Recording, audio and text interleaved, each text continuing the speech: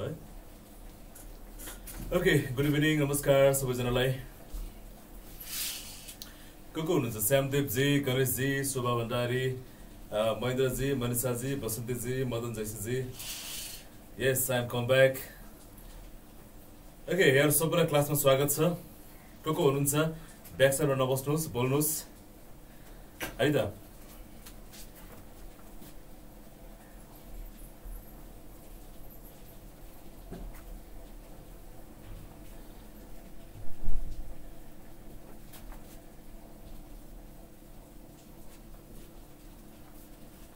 हामीले पढ्ने political status of Nepal भन्ने टपिक पढ्दैछौँ र यससँग रिलेटेड जिकेका कुराहरू हामी यसमा गर्नेछौँ है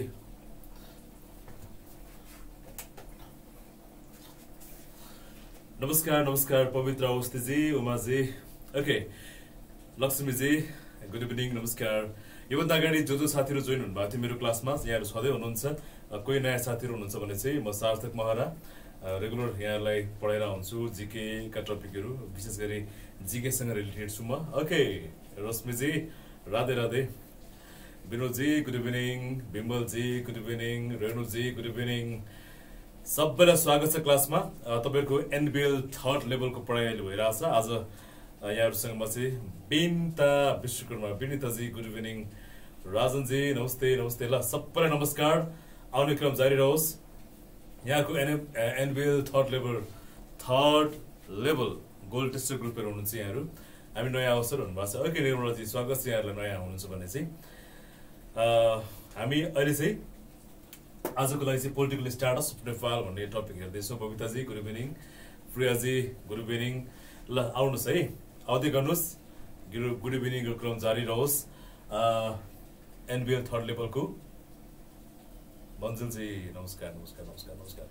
सबैलाई नमस्कार एकछिन त स्वागतै गर्नुपर्छ क्या हो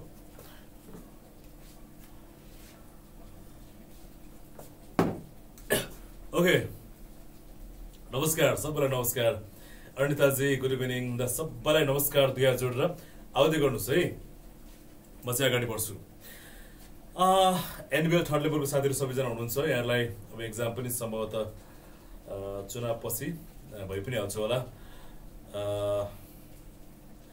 आज आज सुरुको आज सुरु हुँदैछ। सो आज हामीले पढ्ने पोलिटिकल स्टाटस अफ नेपाल योसँग रिलेटेड रहेर चाहिँ जिकेका कुराहरू यहाँहरूसँग गर्नेछु म। यो पढ- पढ्दै गर्दा युसन पोन्जे गुड इभिनिङ यो पढ्दै गर्दाखेरि यहाँहरूलाई म विशेष गरी एकदम इम्पोर्टेन्ट कुराहरू जुन चाहिँ एक्जाम ओरिएन्टेड छन् यी विषयहरू म यहाँलाई पढाउँछु। धेरै लेन्दीमा जाँदिनँ किनकि एकदमै धेरै लेन्दी छ यो टपिक यो टपिक सँगसँगै चाहिँ यहाँहरूले एकदम क्लियर हुनुपर्ने कुरा चाहिँ के छ भन्दाखेरि पोलिटिकल स्टार्ट्स अफ नेपाल पढ्दै गर्दाखेरि यससँग इतिहास पनि जोडिन्छन्। हरेक विगतका घटनाहरू के हुन् इतिहास हुन्। सो विगतका कुराहरू हेर्दै गर्दाखेरि चाहिँ यहाँलाई यो पढ्दै गर्दैछ। यो त इतिहासका पक्षहरू होइन इतिहाससँग रिलेटेड टपिक होइन भन्ने पनि लाग्न सक्छ। सो एउटा कुरा दिमाग के राख्नुहोस् भन्दाखेरि पास्टका कुराहरू सबै के हुन्?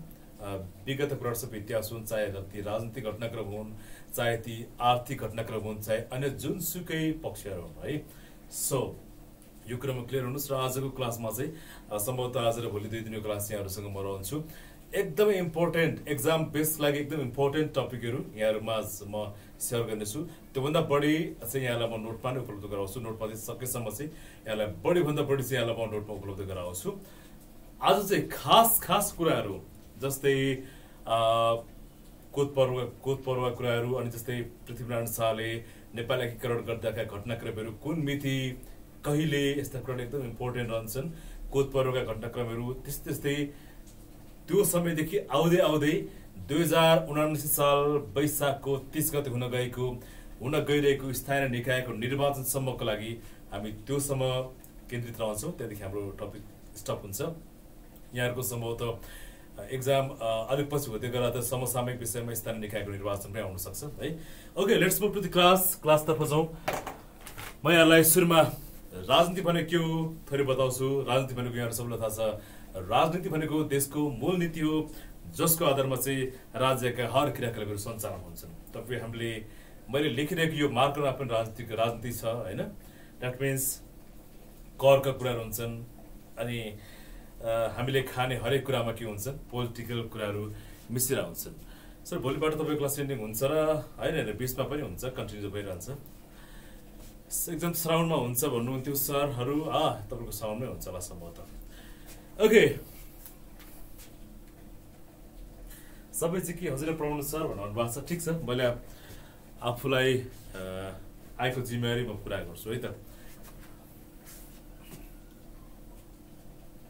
राजनीति देशको मूलनीति। सर नेपालीमा लेखिदिनु है भन्नुभएको छ के? देशको मूलनीति। जसको आधारमा राज्यका हर क्रियाकलापहरू सञ्चालन भएका हुन्छ मैले भनिसकेँ तपाईँ लेख्दै गरेको यो मार्कर तपाईँहरूले खाने गाँस बाँस कपास सबै के हुन्छ भन्दाखेरि केमा रिलेटेड हुन्छ? पोलिटिक्समा रिलेटेड भएको हुन्छ। त्यस्तै अर्को राजनीतिक दल भनेको चाहिँ के हो?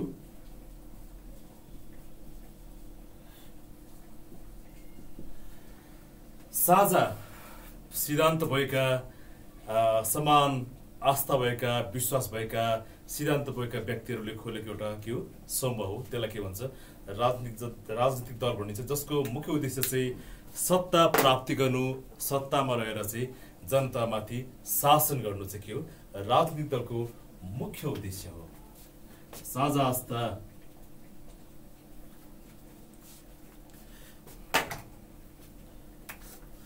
साझा आस्था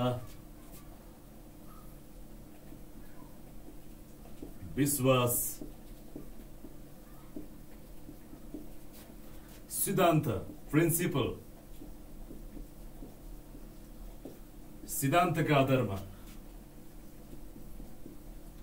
सिद्धान्त बोकेका भन्नुभएको सिद्धान्त बोकेका व्यक्तिहरूद्वारा गठित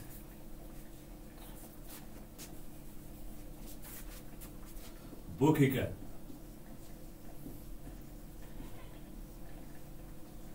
व्यक्तिहरू सम्मिलित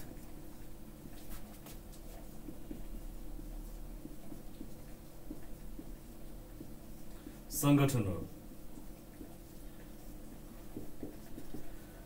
विचार मिलेका व्यक्तिहरू एउटा पार्टीमा केन्द्रित हुन्छन् जब विचार मिल्दैन पार्टीहरू के हुन्छन् फुट्छन् द्याट मिन्स के बुझ्छ भन्दाखेरि विश्वास आस्था बोकेका एउटा व्यक्तिहरूद्वारा खोलिएको संस्था सङ्घ चाहिँ राजनीतिक दल हो। जब विचार मिल्दैन उनीहरू के गर्छन्? अर्को पार्टी खोल्नतर्फ लाग्छन्। तपाईँ हामी यसको दृष्टान्त भुक्त भोगिनेछौँ है। ओके। अब हामी जान्छौँ पृथ्वीनारायण शाहको समयदेखि। म ठिक छ ज्योतिजी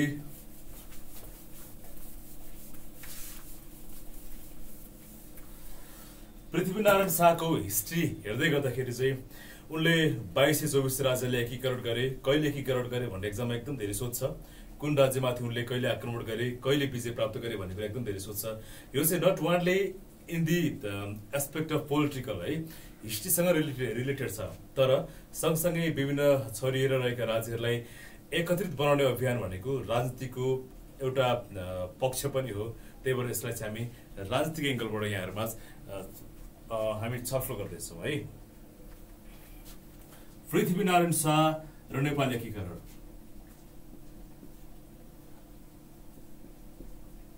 पृथ्वीनारायण शाह र नेपालको एकीकरण।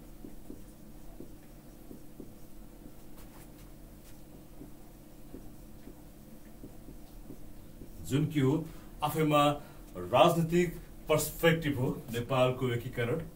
सो पृथ्वीनारायण शाहले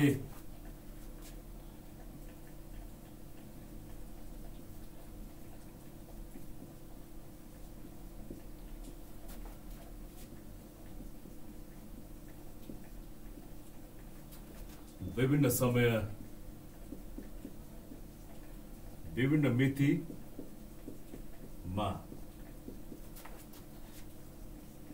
जित हासिल गरेका स्थानहरू।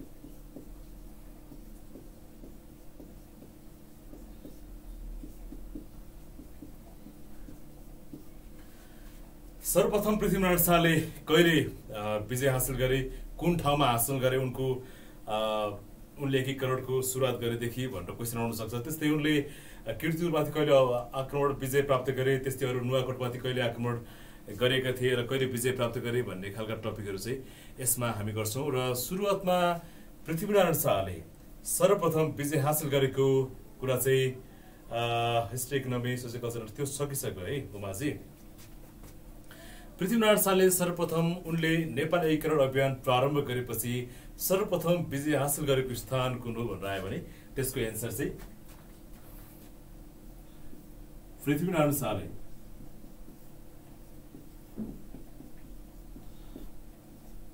शाहले सर्वप्रथम विजय हासिल गरेको स्थान। सर्वप्रथम विजय हासिल गरेको के हो? नुवाकोट। नुवाकोट है। एक्जाममा कसरी क्वेसन आउँछ भन्ने लाग्न सक्छ यहाँहरू। इनिसियल फेजमा हुनुहुन्छ भने फर्स्ट फर्स्ट टाइम यो एक्जाम एटेन्ड गर्दै हुनुहुन्छ भने क्वेसन कसरी आउँछ भन्दाखेरि पृथ्वीनारायण शाहले नेपाल एकीकरणको सुरुवात गरे सँगसँगै फर्स्ट टाइम उनले कहिले आएको विजय हासिल गरे भनेर आयो भने चाहिँ यसको डेट सन् अठार विक्रम सम्बत अठार सय एकमा। विक्रम सम्बत अठार सय एकमा। एकमा चाहिँ उनले नुवाकोटमाथि विजय हासिल गरेका हुन्। सो उनले सोभन्दा अगाडि पनि यसमाथि आक्रमण गरेका थिए तर त्यो बेला उनी असफल भएका थिए। आक्रमण गरेको सुरुवातको समय चाहिँ प्रथम पटक आक्रमण। प्रथम पटक आक्रमण गरेको विक्रम सम्मत अठार सयमा।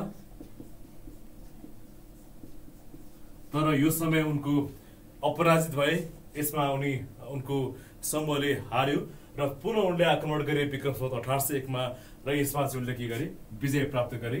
सो पृथ्वीनारायण शाहले सर्वप्रथम विजय हासिल गरेको नुवागढ हो विक्रम सम्मत अठार सय एकमा। सोभन्दा अगाडि प्रथम पटक आक्रमण गरेको चाहिँ विक्रम सम्मत अठार सयमा। सो दोस्रो पटकको आक्रमणमा चाहिँ उनले के गर्न सफल भए? नुवाकोटलाई आफ्नो कब्जामा पार्न सफल भए है। अब टेबल बनाएर जाउँ।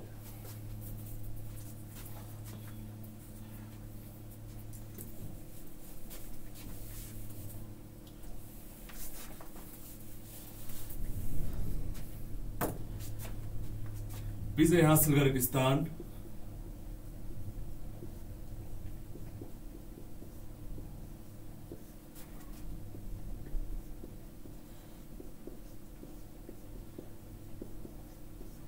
र समय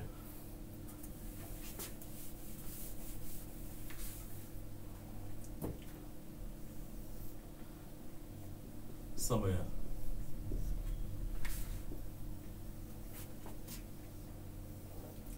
सर्वप्रथम नुवाकोट नम्बर एक. नुवाकोट. कहिले विजय प्राप्त गरे? विक्रम सम्वत अठार सय एकमा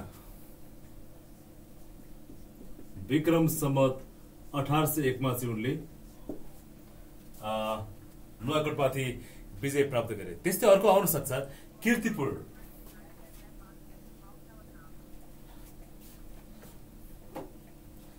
किर्तिपुरमा गुरुमा क्लासमा छु क्लासमा पढेको छु किर्तिपुर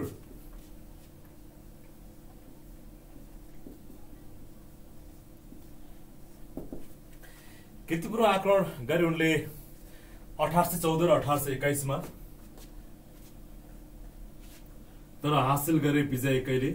अठार सय बाइसमा। अगाडि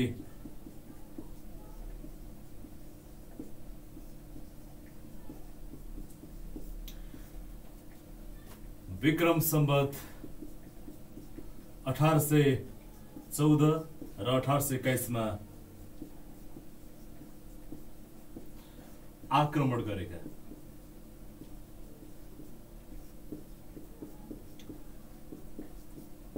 यसको अर्थ क्वेसन आउन सक्छ। किर्तिपुरमा कति पटक आक्रमण गरेपछि उनले उनी सफल भयो भनेर आयो भने चाहिँ तेस्रो पटक है। एकदम याद गर्नुहोस् सोभन्दा अगाडि अठार सय बाइसमा चाहिँ उनले विजय हासिल गरे। सोभन्दा अगाडि विक्रम सम्मत अठार सय चौध र अठार सय एक्काइसमा चाहिँ उनले आक्रमण गरिसकेका थिए। त्यस्तै अर्को आउन सक्छ काठमाडौँ।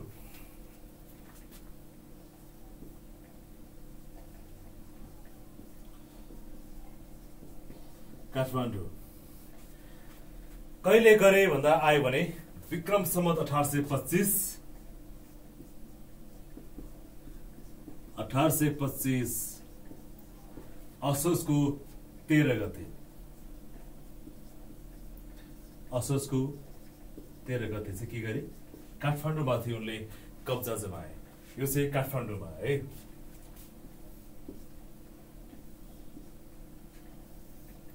काठमाडौँमाथिको विजय अभियान चाहिँ सुरु भयो।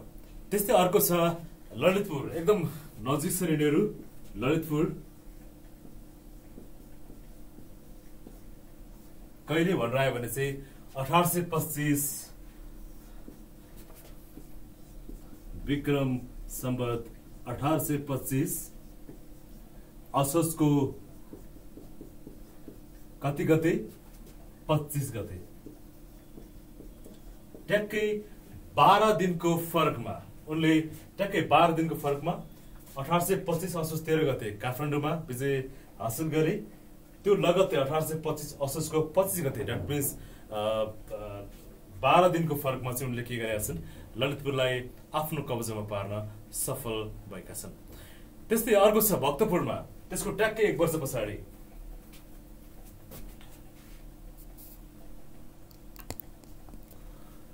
भक्तपुर देखिन्छ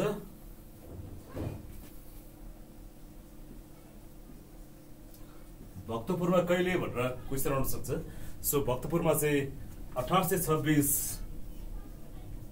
विक्रम सम्बत देखिन्छ अठार सय छब्बिस अठार सय छब्बिस मङ्सिर गते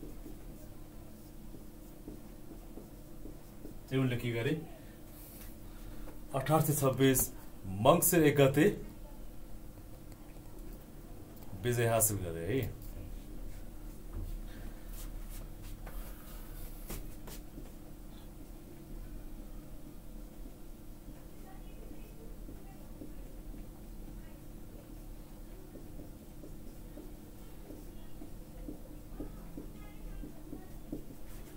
ओके नुवाकोटमा पृथ्वीनारायण शाहले सर्वप्रथम विजय हासिल गरेको अठार सय एकमा किर्तिपुरमा अठार सय बाइसमा काठमाडौँमा अठार सय पच्चिस असोज तेह्र गते ललितपुरमा अठार सय पच्चिस असोज पच्चिस गते र भक्तपुरमा चाहिँ अठार सय छब्बिस मङ्सिर एक गते।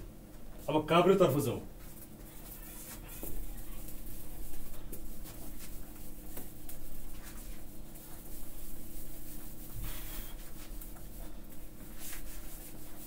केही कन्फ्युजन छ? कन्फ्युज भने सोधिहाल्नुहोस् है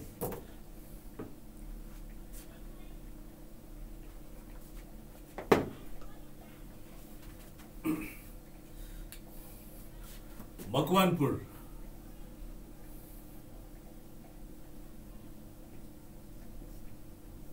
मकवानपुरमा पनि उनले आक्रमण गरेका थिए र विक्रम सम्बत अठार सय उन्नाइसमा उनले यसमाथि विजय हासिल गरेका हुन्। अठार सय उन्नाइसको भदौको नौ गते। भाद्र नौ गते। मकनपुरमा कहिले विजय हासिल गरे भन्ने क्वेसन आयो भने विक्रम सम्बत अठार सय उन्नाइस भाद्र नौ गते। अनि अर्को विजयपुरमा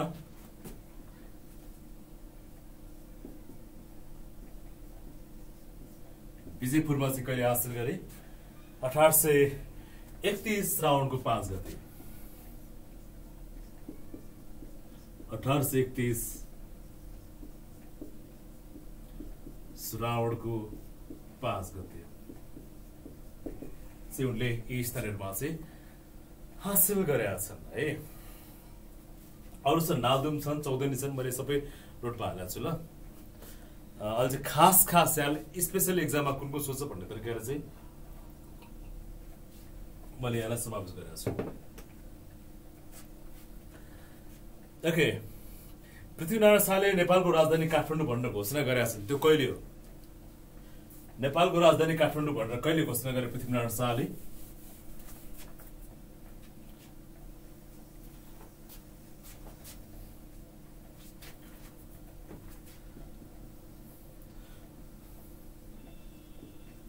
पृथ्वी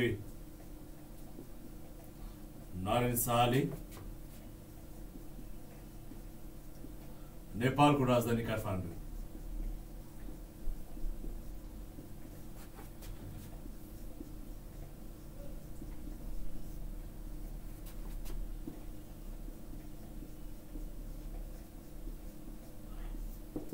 कहिले घोषणा गरे भनेर आयो भने चाहिँ विक्रम सम्बत अठार सय छब्बिस।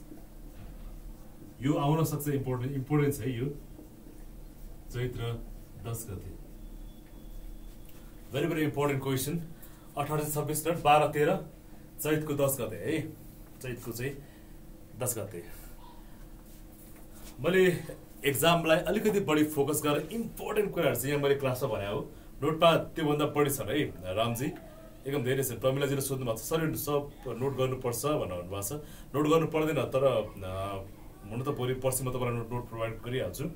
तर भर्सक अहिले हेरेको क्लास चाहिँ भरे यहाँलाई आफूलाई हेर्नको लागि सजिलो हुन्छ। सो अलिअलि चाहिँ गर्नुभयो हुन्छ। अरू यो सबै कुराहरू चाहिँ नोटमा आउँछन् है।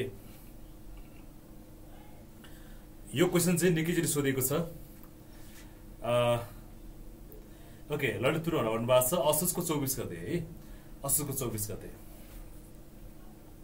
मैले के लेखेँ? ललितपुर। ललितपुर असोजको चौबिस गते है अघि मैले त्यहाँ लेखेँ भने।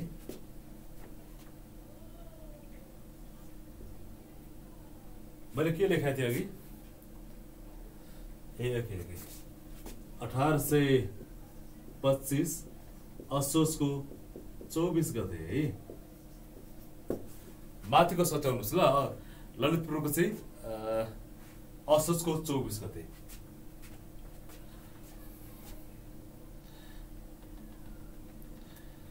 नेपालमा सुगौली सन्धि कहिले भयो? अनि सुगौली सन्धिमा नेपालको तर्फबाट हस्ताक्षर गर्ने को थिए? त्यस्तै अर्को चाहिँ अङ्ग्रेजको तर्फबाट हस्ताक्षर गर्ने को थिए? यो पनि एकदम इम्पोर्टेन्ट क्वेसन छ। यसतर्फ जाउँ। सुगौली सन्धि।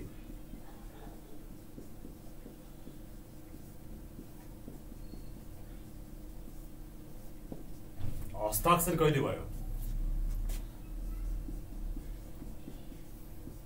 हस्ताक्षर मिति।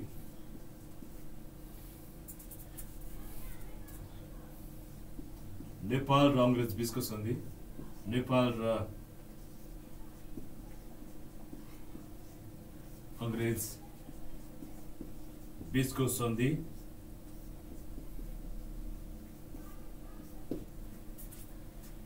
कहिले भयो? भनेर क्वेसन आयो भने अठार सय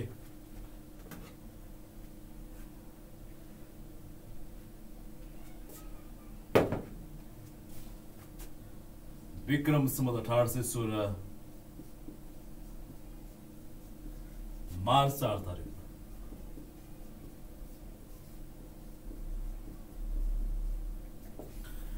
नेपाल र अङ्ग्रेज बिचको रिलेटेड यो एकदम धेरै एक्जाम आइरहेको क्वेसन हो सो सुगौल सन्धि को कसको बिचको सन्धि हो नेपाल र अङ्ग्रेज बिचको कहिले भयो अठार सय सोह्र मार्च सरी सन् अठार सय सोह्र मार्चको चार तारिक नेपालको तर्फबाट कसले हस्ताक्षर गरेका थिए र इन्डियाको तर्फबाट सरी अङ्ग्रेजको तर्फबाट कसले हस्ताक्षर गरेका थिए। यो क्वेसन आउँछ। सो यो क्वेसन आउँदै गर्दा चाहिँ यहाँले नेपालको तर्फबाट नेपालको तर्फबाट गजराज मिश्र गजराज मिश्र र अङ्ग्रेजको तर्फबाट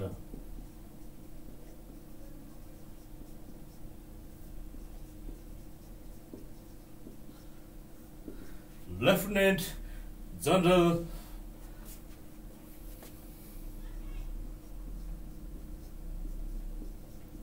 lieutenant general Bradshaw Bradshaw है। उनले गरेका थिए। मार्च तिन होइन मार्च चार हो है। मार्च चार।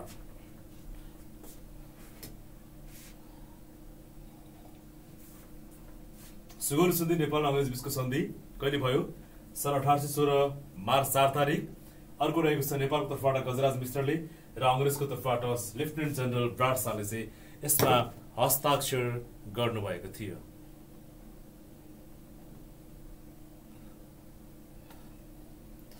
सर मर्निङ र इभिनिङमै यो क्लास भन्नुभएको छ होइन। होइन देख्नु भएन तल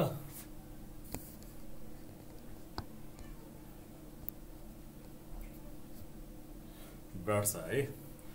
मार्च तिन होइन मार्च चार हो मार्च चार। सन् अठार सय सोह्र मार्च चार तारिकमा है।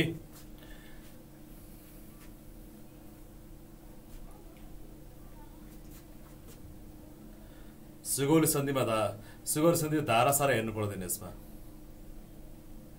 अनि थाहा नै नहुने के भनौँ न सङ्गीताजीले बुझ्न खोज्नु भएको चाहिँ इभिनिङ क्लास है आजबाट देख्नु भएन ब्राड्सा हो यो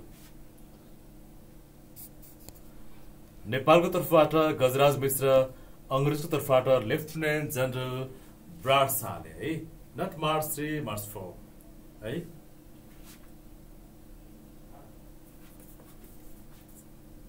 सन् अठार सय चौध मार्च सात तारिक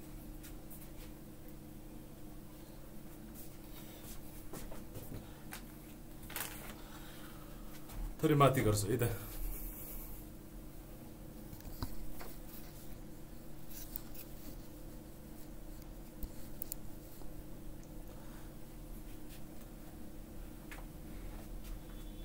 Okay.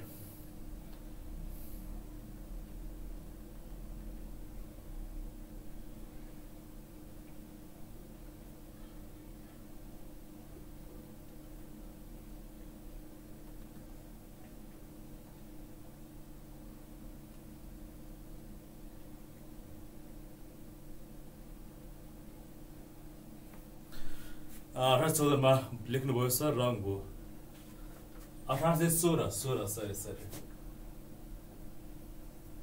अठार सय सोह्र मार्च चार तारिक है थोरै मिस्टेक भयो ठिक छ फेरि एकचोटि भनौँ यहाँलाई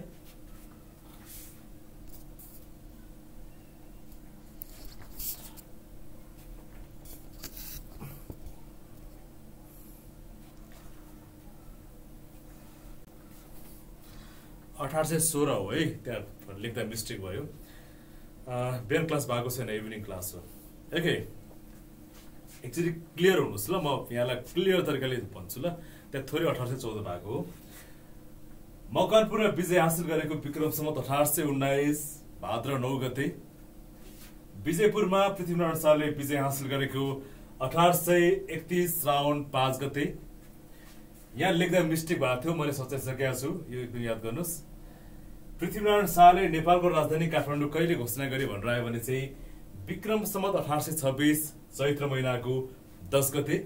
त्यस्तै सुगौली सन्धि कहिले भयो भनेर आयो भने सुगौली सन्धि कुन कुन पक्षको भनेर आयो भने चाहिँ मैले लेखिसकेको छु निर्मलाजी। सुगौली सन्धि नेपाल र अङ्ग्रेज बिचको सन्धि हो कहिले भएको थियो? सन् अठार सय सोह्र मार्च चार तारिकमा अर्को नेपालको तर्फबाट यसमा हस्ताक्षर गर्ने को थियो भनेर आयो भने गजराज मिश्र नेपालको तर्फबाट साइन गर्ने। त्यस्तै अङ्ग्रेजको तर्फबाट लेफ्टिनेन्ट जेनरल ब्राड शाह है? लेफ्टिनेन्ट जेनरल ब्राड शाह हुन्। मैले एकदम मैले हेरिरहेको मैले पढिरहेको बुकमा चाहिँ मार्च फोनै छ। अझै पनि त्यस्तो केही कन्फ्युजन भयो भने म क्लियर गरौँ न यहाँलाई नोटमा यहाँले पाइहाल्नुहुन्छ। तर मैले अहिलेसम्म हेरेको मैले मजाले पढेको चाहिँ मार्च चार अठार सय सोह्र है?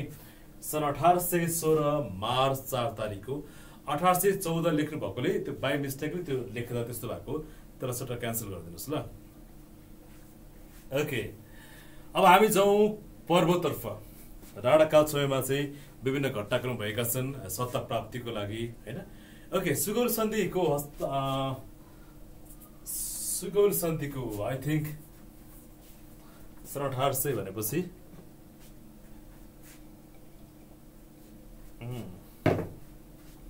एक्चुली हेर्नुपर्छ मैले ल त्यो बेला सुगर सिन्धुका प्राइम मिनिस्टर को थिए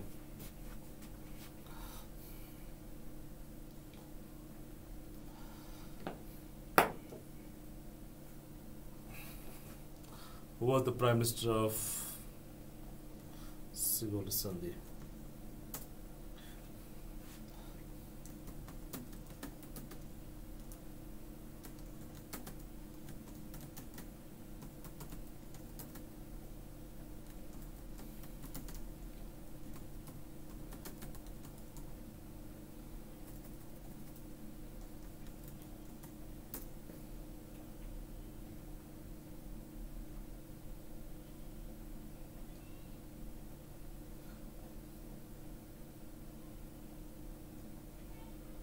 Yes.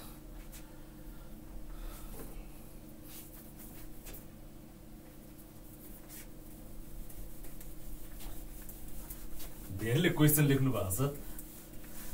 अठार सय चौध केही पनि होइन क्या? त्यो बाई मिस्टेक त्यहाँ लेखिएको अठार सय सोह्र लेख्नु पर्यो अठार सय चौध भएको सो त्यहाँ हेर्नुहोस् ल। अठार सय चौध चाहिँ केही पनि होइन है। अठार सय सोह्र लेख्दै थिएँ। अठार सय सोह्र लेख्दै गर्दा अठार सय चौध भएको। त्यहाँ कोही पनि कन्फ्युज नहुनुहोस् न।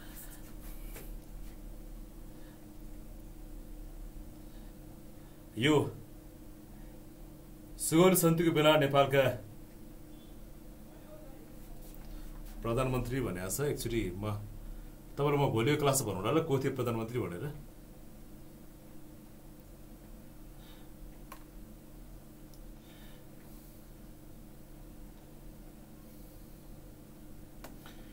भोलिको क्लास भनौँला है यो सुगौल सन्धिको बेला चाहिँ प्रधानमन्त्री को थिए भनेर?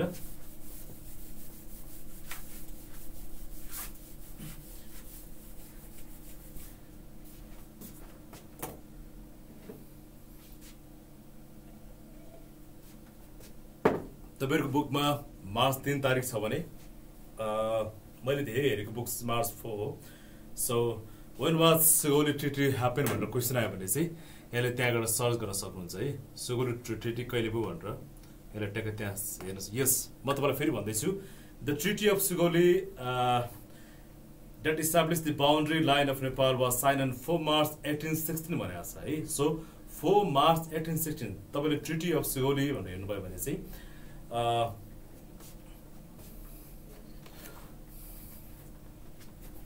have here uh, Treaty of Sugauli Sandhi. मैले तपाईँलाई यसैबाट देखाएँ the treaty of Sugauli the boundary of line of Nepal was sign on four March eighteen sixteen है फोर मार्च एटिन सिक्सटिन यहाँ हेर्न सक्नुहुन्छ है सन् अठार सय सोह्र सो इन्टरनेटमा यहाँले टक्क ट्रिटी अफ सुगौली भनेर हेर्नुभयो भने चाहिँ त्यो एक्ज्याक्टली थाहा पाउनुहुन्छ। सो तपाईँले तिन भनिरहनु भएको छ म चार भनिरहेको छु। सो चार मार्च अठार सय सोह्र भनेर चाहिँ यहाँले हेर्नु होला है त?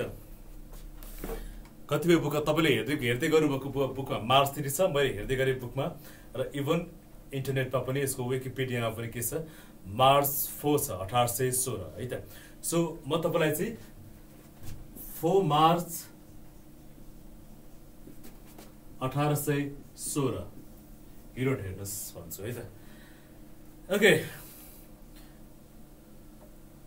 नो मोर डिस्कसन जिरिस बस्दा र नेपालबाट गिरिज गजराज मिश्र र चन्द्रशेखर उपाध्यायले मुख्य व्यक्ति भन्न मन छ हेर्नुहोस् है गजराज मिश्र नम्बर वान नेपालको तर्फबाट इन्डियाको तर्फबाट अङ्ग्रेजको तर्फबाट चाहिँ ब्राड छ भन्न मन छ okay let's stop the point को थिएँ म भोलि तपाईँलाई भनौँ ल प्राइम मिनिस्टरको विषयमा ओके अब कोत पर्वको सवाल जाउँ यो एकदम इम्पोर्टेन्ट क्वेसन कोत पर्व भण्डाखाल पर्व अलौ पर्व यो क्वेसनहरू एकदम धेरै आइरहेको हुन्छ।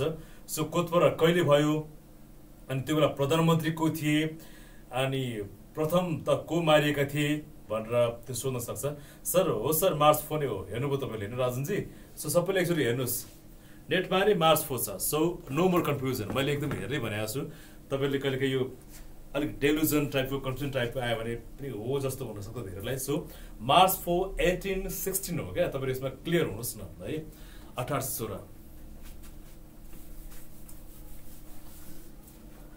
ओके क्लासमा आइसकेपछि यहाँलाई रङ इन्फर्मेसन दिन मिल्दैन। तर कहिलेकाहीँ रङ इन्फर्मेसन इन्फर्मेसन भयो भने पनि यहाँलाई नेक्स्ट क्लासमा चाहिँ सच्याउनु पर्ने हुन्छ है?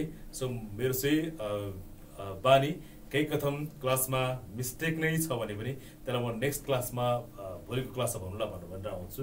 सो धेरैले अघि भन्दै हुनुहुन्थ्यो धेरैले चाहिँ थ्री मार्च थ्री मार्च भन्दै हुनुहुन्थ्यो अहिले फोर मार्च भन्ने पनि आउनुभयो। सो फोर मार्च अठार सय सोह्रमा चाहिँ सुगौली सन्धि भएको थियो भनेर चाहिँ क्लियर हुनुहोस् है। ठिक छ गिरवान विक्रम शाह राजा भन्नुभएको छ मैले भोलिको क्लासमा भन्नुला है। ओके राजुजीले तिन चारवटा बुक पढेको तिन त्यही भएर भन्नुभएको छ। ठिक छ ओके लेट्स मुभ टु पर्व। नेपालमा जहानीय राणा शासनमा चाहिँ एकत एकतन्त्रीय शासन व्यवस्था। एकतन्त्रीय राणा शासन।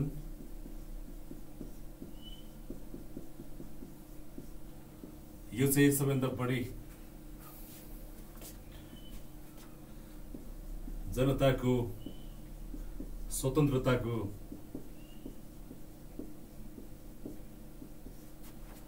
हराएको समय हराएको समय निरङ्कुश शासन व्यवस्था अव- अवलम्बन गरिएको निरङ्कुश शासन व्यवस्था अवलम्बन गरिएको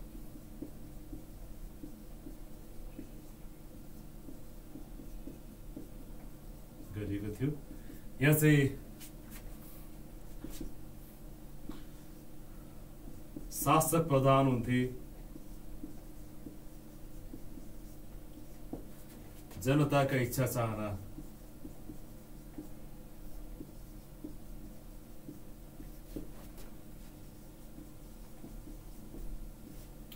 गौरन्थे है राणा शासन। जनताको स्वतन्त्रता हराएको समय निरङ्कुश शासन व्यवस्था अवलम्बन गरिएको समय शासक प्रधान हुन्थे जनताको इच्छा र चाहना चाहिँ के हुन्थे? गौड हुन्थे। यो समयमा सो यो समयमा सत्ता प्राप्तिको लागि विभिन्न किसिमका घटनाक्रमहरू भएका छन् जस्तै कोत पर्व अनि अर्को भन्द्रखाल पर्व जसलाई बसन्त पर्व पनि भनेर भनिन्छ। यसमा हामी जाउँ है। कोत पर्व कहिले भयो? एक्जाममा धेरैभन्दा धेरै सोध्ने चाहिँ पर्वहरूमा। पर्वहरू।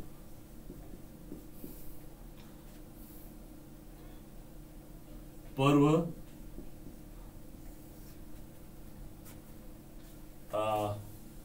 समय अर्थात् मिति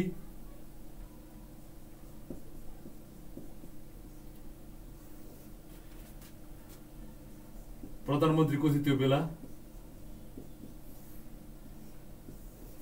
प्रथम पटक मारिने व्यक्ति।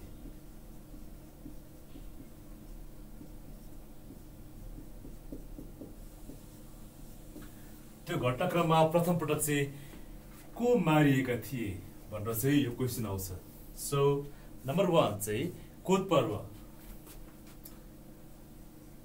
धेरै एक्जाममा सोधेको क्वेसन हो कोत पर्व। सो कोत पर्व कहिले भयो भनेर आयो भने विक्रम सम्बत उन्नाइस सय तिन साल असोजको दुई गते यस विक्रम सम्बत उन्नाइस सय तिन साल असोजको दुई गते चाहिँ कोत पर्व भएको थियो। यो बेला प्रधानमन्त्री को थियो भनेर आयो भने चाहिँ फतेजङ शाह। फतेजङ शाह चाहिँ को थिए? प्रधानमन्त्री। त्यो बेला प्रधानमन्त्रीलाई के भन्थ्यो? चौतारा भनेर भन्ने थियो होइन? सो चौतारा भनेर भन्ने थियो। फतेजङ शाह यसमा मारिने प्रथम व्यक्ति को थियो भनेर आयो भने चाहिँ अभिमान सिंह बस्नेत। अभिमान सिंह बस्नेत। बस्नेत भनिन्थ्यो। यी सबै एकदम इम्पोर्टेन्ट छन् है। सबै एकदम इम्पोर्टेन्ट छन् सोध्न सक्छ। कोत पर्व कहिले भएको थियो? विक्रम सम्वत उन्नाइस सय तिन असोज दुई गते। त्यो बेला प्रधानमन्त्री को थिए? फतेजङ शाह। अनि त्यो कोत पर्वमा सबैभन्दा प्रथम पटक मारिने व्यक्ति को थियो भनेर आयो भने चाहिँ अभिमान सिंह बस्नेत थिए। त्यस्तै अर्को रहेको छ भन्द्रखाल पर्व।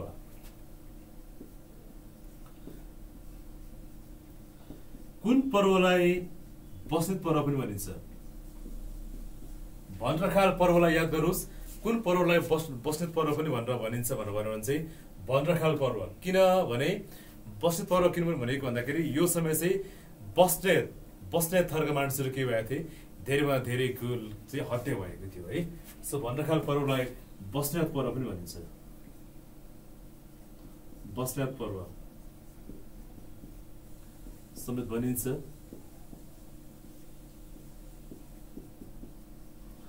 बस्नेत पर्व समेत भनिन्छ। कहिले भएको थियो? उन्नाइस सय तिन साल यस असोजको सरी कार्तिकको बाह्र गते। विक्रम सम्मत उन्नाइस सय तिन साल कार्तिकको बाह्र गते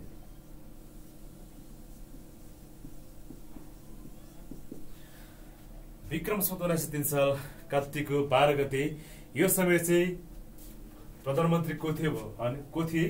फतेजङ नै थिए उनले थिए। अनि यसमा प्रथम पटक भइरहने व्यक्ति वीरध्वज बस्ने। वीरध्वज बस्नेत थिए होइन? जङ्गबहादुर राणालाई मार्नका लागि मुख्य प्रपञ्च रचिएको जङ्गबहादुरलाई मार्ने मुख्य षड्यन्त्र षड्यन्त्र चाहिँ रचिएको यसमा। जङ्गबहादुर राणालाई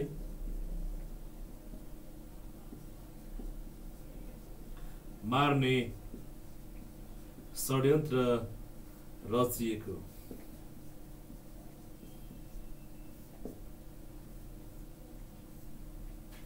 है त बस्ने चाहिँ यसमा चाहिँ प्रथम पटक मारिने व्यक्ति थिए यसको योजनाकार को भनेर आयो भने चाहिँ बजिर सिंह योजनाकार चाहिँ को थिए बजिर सिंह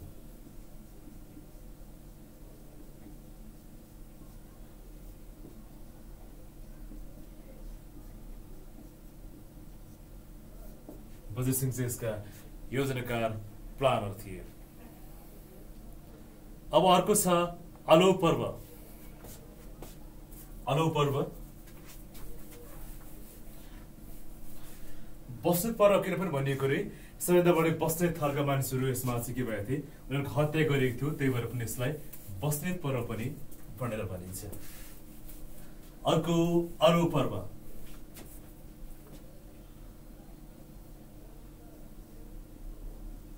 अलो पर्व बुझ्दै हुनुहुन्छ? के कन्फ्युजन छ भने भन्नुहोस् है। कहिले भयो? विक्रम सम्बत उन्नाइस सय चारमा। विक्रम सम्बत उन्नाइस सय चारमा। यसको एक्ज्याक्ट डेट कहीँ पनि मैले भेटिनँ। सो यसको चाहिँ विक्रम सम्बत उन्नाइस सय चार भएको थियो। यो बेला चाहिँ के थियो भन्दाखेरि प्रवासमा रहेका राजा राजेन्द्रले जङ्गबहादुर विरुद्ध पर्साको औलमा सैन्य सङ्गठन गर्न थालेका थिए। त्यसलाई चाहिँ के भनिन्छ भन्दाखेरि यस उन्नाइस हजार श्रावणमा हो है? श्रावणमा हो। सो यो समय चाहिँ प्रवासमा रहेका राजा राजेन्द्रले जङ्गबहादुर विरुद्ध चाहिँ सैन्य सङ्गठन चाहिँ उनले विस्तार गरेका थिए होइन? पोल खोल्ने व्यक्ति अहिले आउँछ। कुन घटनाको पोल कसले खोलेको थियो भन्ने कुरा पनि छुट्टै टपिक छ। त्यसलाई म यहाँ पढाउँछु।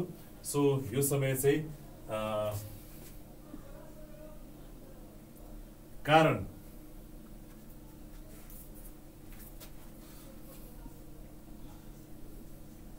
प्रवासमा रहेका प्रवास भनेको भारतमा प्रवासमा रहेका राजा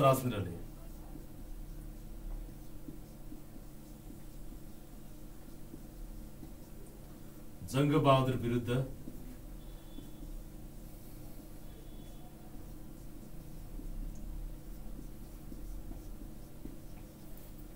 जङ्गबहादुर राणा विरुद्ध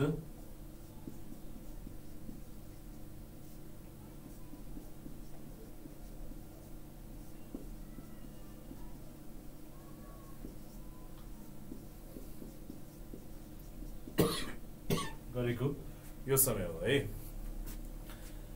ओके चार तेह्र भन्नुभएको छ मैले चाहिँ उन्नाइस सय चार सालमा मात्रै भेटाएको छु त्यो त्यही भएर मैले डेट लेखाएको छैन है। अर्को मकै पर्व कहिले भयो? मकै पर्व। विक्रम सुत उन्नाइस सय सतहत्तरमा। उन्नाइस सय सतहत्तरमा चाहिँ यो मकै पर्व भएको हो। तपाईँलाई थाहा छ मकैका खेती सुब्बा कृष्णलालले लेखेका हुन्। यसपछि मकैको पर्व भन्नुको अर्थ चाहिँ त्यो बुकमा चाहिँ तत्कालीन राणा शासनलाई प्रतिबिम्बित गरेर चाहिँ सिम्बोलिक रूपमा त्यहाँ त्यो शासन व्यवस्थालाई को प्रतीक हुने गरी त्यो शासन प्रक्रियाको विरुद्धमा चाहिँ यो बुक लेखिएको र त्यसकै कारणले गर्दाखेरि यो घटना घटिएको भन्छ त्यो लेखक सुब्बा कृष्ण अधिकारी होइन? यसको त्यो एउटा दृष्टान्त चाहिँ त्यही हो। तत्कालीन शासक विरुद्ध चाहिँ त्यो पुस्तकमा मकैको खेती भन्ने पुस्तक यहाँले जुन पढ्नुहुन्छ सुब्बा कृष्ण अधिकारीको उनले त्यो बुकमा तत्कालीन शासनको विरुद्धमा चाहिँ उनले आफ्नो आवाज उठाए। त्यही भएर चाहिँ त्यही समय चाहिँ त्यही सन्दर्भमा चाहिँ यो घटना घटेको यो बेला तत्कालीन प्रधानमन्त्री को थियो भनेर आयो भने चन्द्र शमशेर थिए है। चन्द्र शमशेर।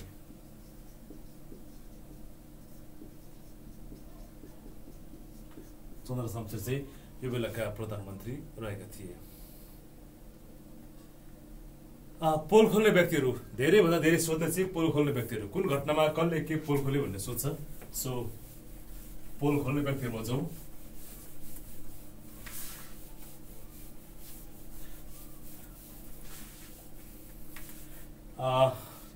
पोल खोल्ने भनेको भित्री योजना बनाउने तर योजना चाहिँ कारण कार्यान्वयन हुन नपाए चाहिँ सम्बन्धित व्यक्तिका चाहिँ त्यो कुरा पुगिहाल्ने। सो विभिन्न पर्वहरू र पोल खोल्ने व्यक्तिहरू। विभिन्न पर्वहरू र पोल खोल्ने व्यक्तिहरू।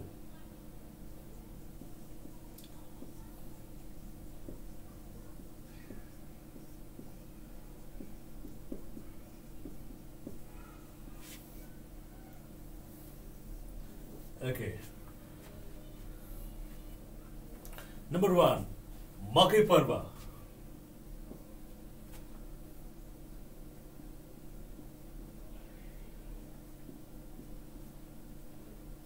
ओके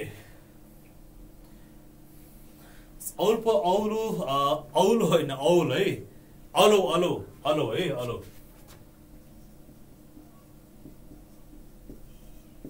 म यसमा क्लियर छैन फतिजङ शाह हो कि जस्तो लाग्छ सो यसलाई पनि म भोलि समावेश गर्छु नोटमा समावेश गरौँ है भोलि के के कन्फ्युजन भएका कुरालाई चाहिँ म नोटमा समावेश गरौँ ल।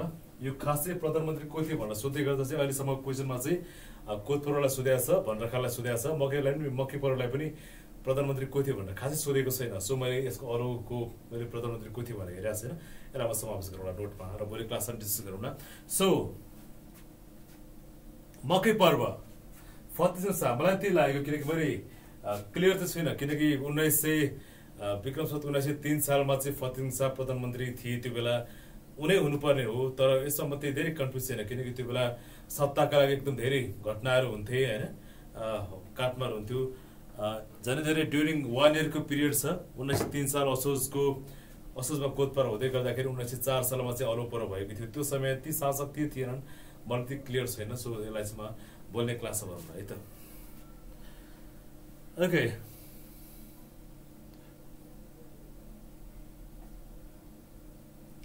चन्द्र शमशेर होइन।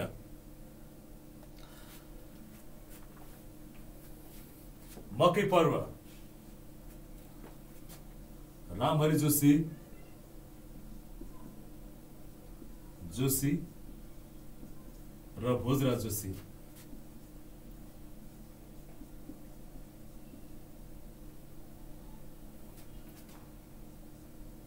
भोजराज जोशी।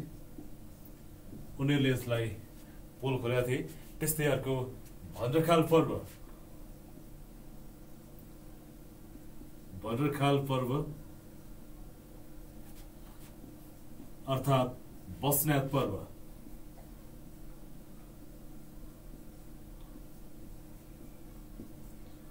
यसमा पोल खोल्ने व्यक्ति विजयराज अर्थात् पण्डित विजयराज। पण्डित विजयराज यसै यसको पोल खोलेका थिए त्यस्तै अर्को छ लाइब्रेरी पर्व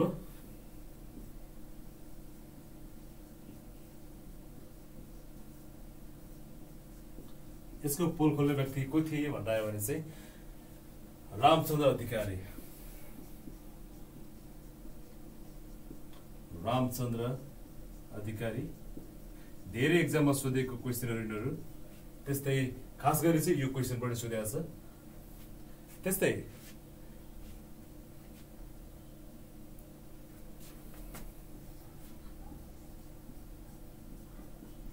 अडतिस सालको पर्व। अडतिस सालको पर्व उत्तर दस खवास।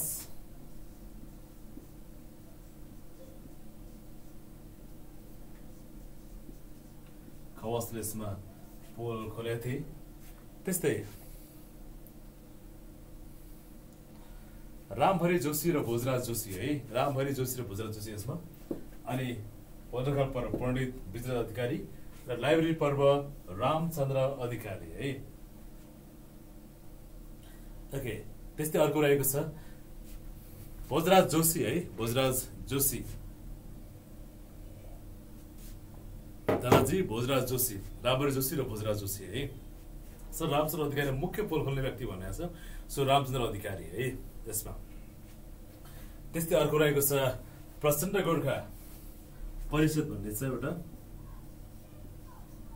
प्रचण्ड गोर्खा। यसको पोल खोल्ने व्यक्ति को थिए भनेर आयो भने चाहिँ लक्ष्मण राज। लक्ष्मण राज। लास्ट वान प्रजा परिषद काण्ड।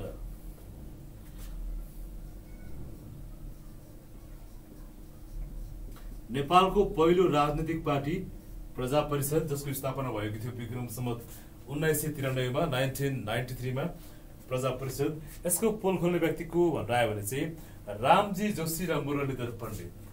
रामजी जोशी देखिन्छ तल रामजी जोशी र मुरलीधर पण्डित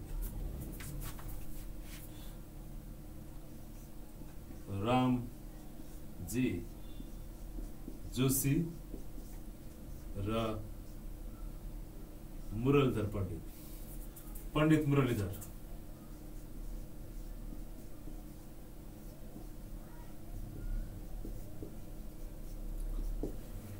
है त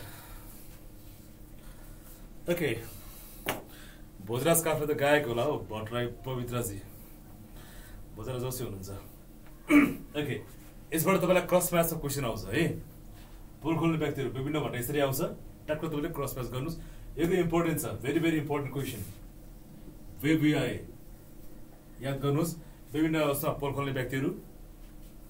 मकै पर्व भोरा भोराम भोराम भनेर सूत्र बनाउनुहोस्। भोराम भण्डाउनु सूत्र बनाउनु भयो भने मकै पर्व म मकै खान्छु मकै खान्न भोराम भोराम। द्याट मिन्स रामहरि भोजराज जोशी र रामहरि जोशी है? भोराम भोराम। यसरी दुईजना व्यक्ति यसरी सम्झाउन सक्नुहुन्छ। अर्को लक्ष्मण राजभाइ रामजी जोशी र पण्डित पण्डित मुरलीधर। राम मुरली भनेर सम्झिनुपर्ने हुन्छ राम मुरली दुईटा व्यक्तिलाई चाहिँ यसरी जोड्न सक्नुहुन्छ सजिलो तरिकाले है त? अडतिस सालको पोल खोल्ने व्यक्ति उत्तर दोष खवास एक्चुली सुन्नुहोस् ल म यहाँलाई फेरि भन्छु। मकै पर्व रामहरि जोशी र भोजराज जोशीले पोल खोलेका थिए यो। भद्रखाल पर्व जसलाई बस्नेत पर्व पनि भनिन्छ यसको पोल खोल्ने व्यक्ति पण्डित विजयराज थिए। त्यस्तै लाइब्रेरी पर्व जसको पोल खोल्ने व्यक्ति रामचन्द्र अधिकारी। अडतिस सालको पर्व जसको पोल खोल्ने व्यक्ति उत्तर ध्वज खवास है।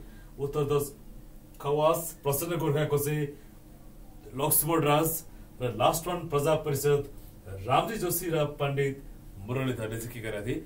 पोल खोलेका थिए। सो दुइटै व्यक्ति हुँदा सजिन सम्झिनको लागि सजिलो चाहिँ मकै पर्व भोराम भोराम अर्थात् भोजराज जोशी र रामहरि जोशी है? एकदम इम्पोर्टेन्ट छ यो। ओके नेपालको पहिलो राजनीतिक पार्टी कुन हो?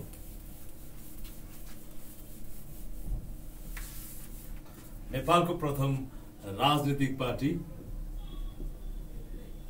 नेपालको प्रथम राजनीतिक पार्टी,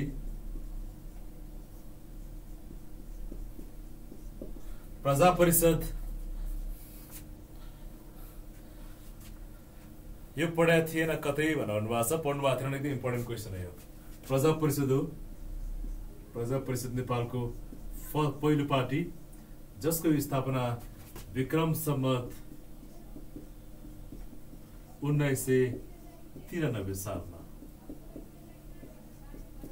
यहाँलाई याद छ होला मैले यहाँलाई पढाउँदै गर्दाखेरि चाहिँ कसरी पढाएको थिएँ भन्दाखेरि उद्योगको पढाउँदै गर्दाखेरि नेपाल सर्वप्रथम स्थापना भएको उद्योग विराटनगर जुटमिल हो होइन? विराटनगर जुटमिल कहिले स्थापना भयो? विक्रम सम्वत उन्नाइस सय तिरानब्बे सालमा। सोही सालमा चाहिँ के भएको रहेछ? प्रजा परिषद पनि स्थापना भएको रहेछ। Vikram Samvat nineteen ninety three. यहाँलाई जति पनि मैले अहिले क्लासमा यहाँ अहिले पढाइरहेको छु एकदम इम्पोर्टेन्ट छ है।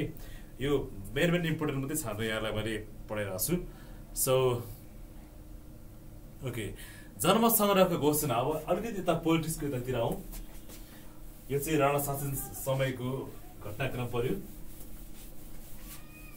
त्योभन्दा अगाडि अलिकति नेपालको विभाजन राजनैतिक विभाजनको बारेमा चाहिँ हेरौँ न है। पूर्वमा पनि पानी पर बिजोग बिहार काठमाडौँ पनि पानी परिरहेछ विशाजी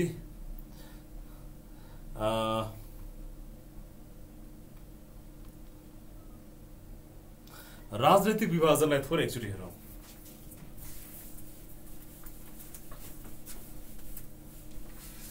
नेपालको राजनैतिक विभाजन।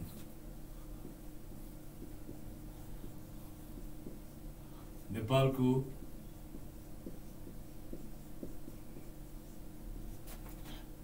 विभाजन यसबाट यहाँलाई कस्तो खालको क्वेसन आउन सक्छ भन्दाखेरि क्लास इङ्ग्लिसबाट नोटमा समावेश गरौँला इङ्ग्लिसमा लेख्नेहरूलाई चाहिँ म नोटमा समावेश गर्छु है ओके नेपालको राजनीतिक विभाजनबाट यहाँलाई कस्तो खालको क्वेसन आउन सक्छ भन्दाखेरि प्रधानमन्त्री भीमसेन थापाको शासनकालमा नेपाललाई उन्चालिस जिल्लामा विभाजन गरिएको थियो होइन एवं क्रमले अ, पाँच प्रदेश सात प्रदेशको कुराकानी आउँछन् त्यही तरिकाले चाहिँ अर्को आउँदै गर्दाखेरि चाहिँ नेपाल अ, लाई कहिले पचहत्तर जिल्लामा विभाजन गरी यो क्वेसन आउन सक्छ? अनि अर्को चाहिँ अहिले हामी कतिमा छौँ? सात सय त्रिपन्न स्थानीय निकायमा छौँ सँगसँगै सात प्रदेश र सत्तरवटा जिल्लामा छौँ। यो कहिले कायम भयो यो क्वेसन आउन सक्छ? सँगसँगै अर्को इम्पोर्टेन्ट चाहिँ प्रदेशको नामाकरण भएको छ। लास्ट टाइम अहिले नेपाल नेपालमा जम्मा सातवटा प्रदेश छन्। तीमध्ये एउटा प्रदेशको नामाकरण हुन बाँकी छ। त्यो प्रदेश कुन हो? यसरी आउन सक्छ। प्रदेश नम्बर एक भइहाल्यो। अनि अर्को मध्य प्रदेश लास्ट टाइम चाहिँ नामाकरण भएको कुन डेटमा नामाकरण भयो यो क्वेसन अस्ति समथिङ एउटा एक्जाममा पनि आएको थियो। कहिले भयो भन्दाखेरि प्रदेश नम्बर एक लोकसेवामा एक्जाममा आएको थियो नायब सुब्बालाई। मध्य प्रदेश नामाकरण कहिले भन्ने आउन सक्छ। मध्य प्रदेश चाहिँ दुई गते होइन माघ दुई गते दुई हजार अठहत्तर सालमा चाहिँ नाम माघ तिन गते दुई हजार अठहत्तर सालमा नामाकरण भएको थियो। सो यो तरिकाले क्वेसन आउन सक्छ। सो नेपालको राजनीतिक विभाजन भनेको चाहिँ कहिले प्रधानमन्त्री भीमसेन थापाको पालामा नेपाललाई कति जिल्लामा विभाजन गरेको थियो? उन्चालिस जिल्लामा। यसरी आउन सक्छ। है त? प्रधानमन्त्री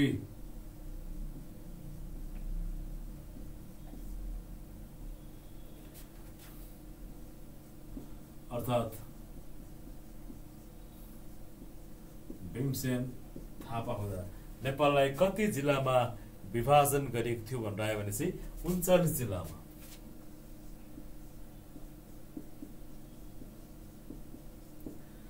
समसामयिकका पनि आउन सक्छ यो लेख्नु भएको दुई हजार अठहत्तर साल माघ तिन गते। ओके अनि राणा शासनकालमा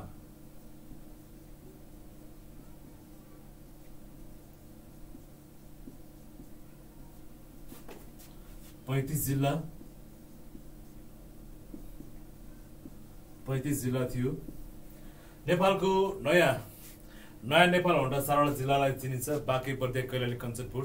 कहिले प्राप्त भयो यस्तो कुराहरू पनि यसो छ किनकि त्यो राजनीतिसँग रिलेटेड रिलेटेड कुराकानी पनि हुन्। सो चौध अञ्चल पचहत्तर जिल्लामा नेपाललाई दुई हजार अठार साल वैशाख एक गते चौध अञ्चल पचहत्तर जिल्ला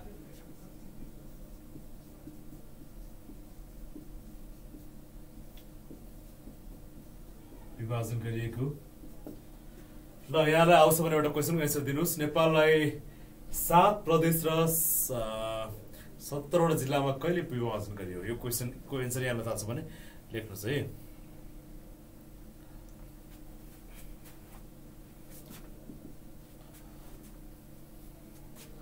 विक्रम सम्बत दुई हजार उन्तिस साल असार तेह्र गते।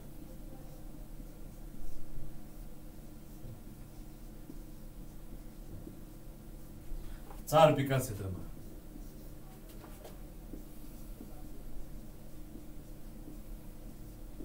चार विकास क्षेत्रमा चाहिँ विभाजन गरिएको हो। चार विकास क्षेत्रमा त्यस्तै विक्रम सम्बत दुई हजार सडतिस साल असोजको छब्बिस गते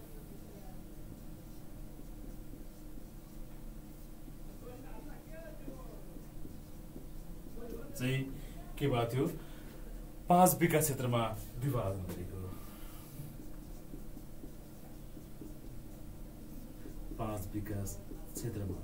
सो इम्पोर्टेन्ट क्वेसन नेपाललाई सात प्रदेश नेपाल सात प्रदेश सतहत्तर जिल्ला। कहिले भयो भन्ने क्वेसन आयो भने चाहिँ नट दुई हजार चौरात्तर यस संविधान सँगसँगै है। नेपालको संविधान कहिले जारी भयो? दुई हजार बहत्तर साल असोज महिनाको तिन गते। दुई हजार बहत्तर साल असोज महिनाको तिन गते चाहिँ गर्यो है। सात प्रदेश सतहत्तर जिल्लामा चाहिँ।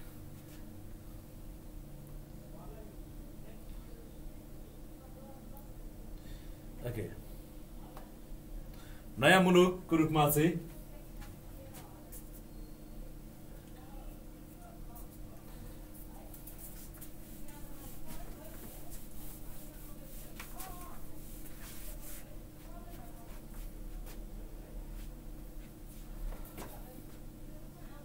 नयाँ मुलुक भनेर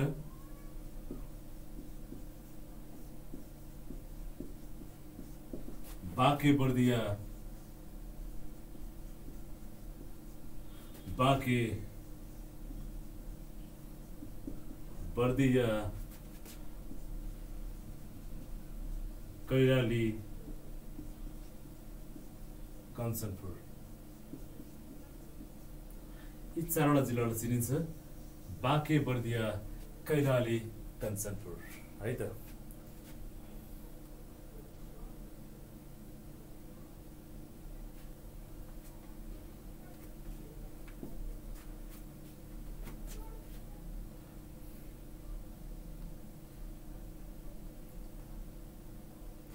ओके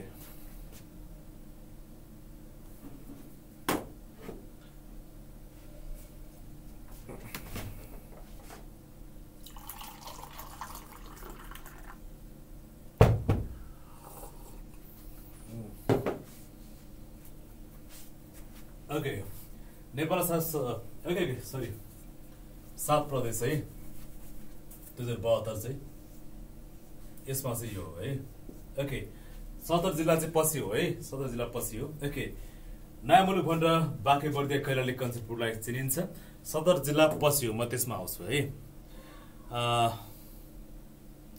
भद्रखाल होइन भण्डारखाल पर्व भण्डारखाल भण्डारखाल बसन्त पर्व पनि भनेर भनिन्छ। कुनलाई चिनिन्छ भन्द्रखाल पर्व भनेर आयो भने चाहिँ भन्द्रखाल पर्व भनेर बसन्त पर्वलाई पनि चिनिन्छ। बसन्त पर्व भनेर क्वेसन आयो भने नजिकिनुहोस् बसन्त पर्व र भन्द्रखाल पर्व चाहिँ दुइटै एउटै हुन् है। पूर्वी रुकुम र नवल नवलपुर दुईवटा जिल्ला थपेका छन्। सो म यहाँ तपाईँलाई सिरियल भन्छु है। यसको च्याप्टर आउँछ।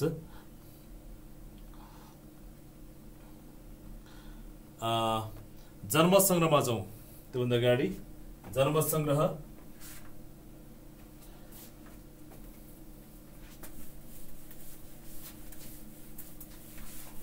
जनमत संग्रह कहिले भयो नेपालमा? नेपालमा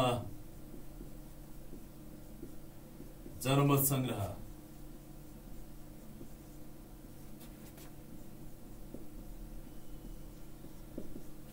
कहिले भयो भनेर आयो भने चाहिँ घोषणा भएको मिति दुई हजार घोषणा भएको मिति।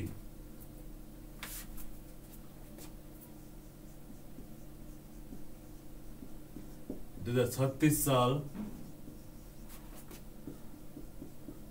जेठ दस गते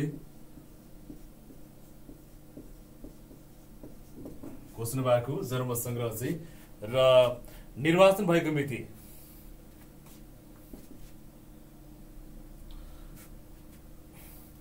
जनमत सङ्ग्रहको निर्वाचन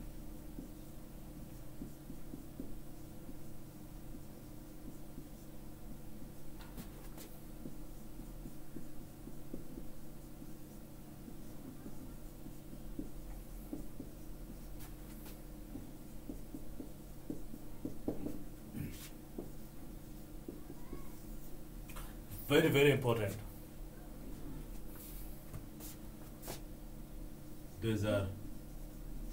सडतिस वैशाख बिस गते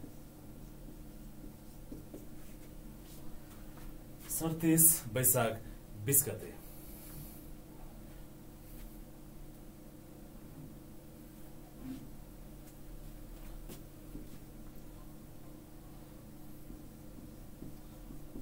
नेपालका प्रथम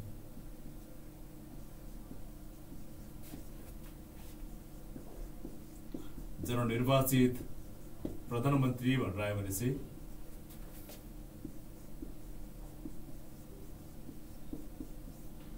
बिपी कोइराला। बिपी कोइराला। नेपालका प्रथम जनताले नै भोट मार्फत चुनेर पठाएका को हुन् भनेर आयो भने चाहिँ निर्वाचित प्रधानमन्त्री जनताले निर्वाचित गरेका प्रधानमन्त्री को हुन् भनेर आयो भने चाहिँ को हुन् बिपी कोइराला। विश्वेश्वर प्रसाद कोइराला। पञ्चायती व्यवस्थामा प्रथम आम निर्वाचन। पञ्चायती व्यवस्थामा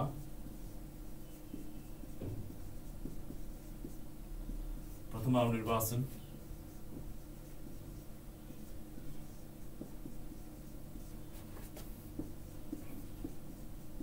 योभन्दा पनि बढी चाहिँ यी कुराहरू सोच्छन् है। यो चाहिँ जन्म समारोहको बारेमा निकैचोटि क्वेसन पनि आएका छन्। कुनै पनि विषयमा जन्म सङ्ग्रह भनेर सोध्नु भएको छ। जन्म सङ्ग्रह जस्तै अहिले पनि यहाँ कतिपय इस्युहरू आउँछन्। राजतन्त्रको बारेमा जन्म सङ्ग्रह गर्यो चाहिँ जनतालाई उनीहरूलाई आफ्नो इच्छा के छ? त्यसमा चाहिँ भोट हाल्ने अवसर दियो भनेको के? जस्तै राजतन्त्रको सवालमा पनि राजतन्त्र कि गणतन्त्र भन्ने कुरा आएर हुन्छ। यहाँ न्युजहरू सुन्नु भएको हुन्छ। जनताको उनीहरूको अभिमत चाहिँ के छ? केमा रुचि राख्छन् उनीहरू? उनीहरूलाई स्वतन्त्र रूपमा उनीहरूलाई भोटिङ राइट दिउँ न त भनेर एउटा उनीहरूको जनताको राय बुझ्ने एउटा प्रक्रिया के हो? जनमत सङ्ग्रह हो है? जनताको अभिमत चाहिँ जाँच्ने कार्यलाई के भन्छ? जनमत सङ्ग्रह भन्छ।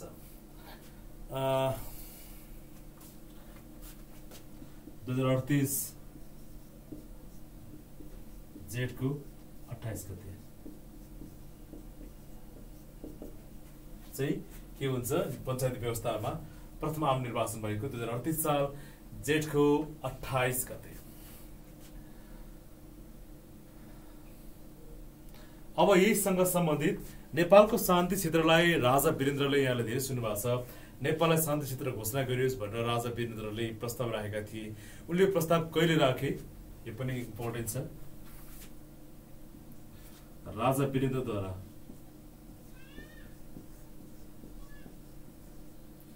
राजा वीरेन्द्रद्वारा नेपाललाई शान्ति क्षेत्र।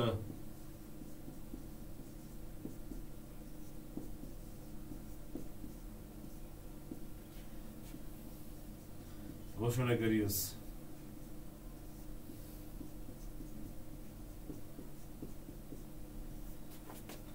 भने प्रस्ताव। यो कहिले गरे अहिलेसम्म कतिवटा छन्? एक सय सोह्र राष्ट्रले यसलाई चाहिँ यो प्रस्तावमा समर्थन जनाएका छन्। सँगैको छिमेकी भारतले चाहिँ यसमा के गरेका छैन अहिलेसम्म? समर्थन जनाएको छैन है।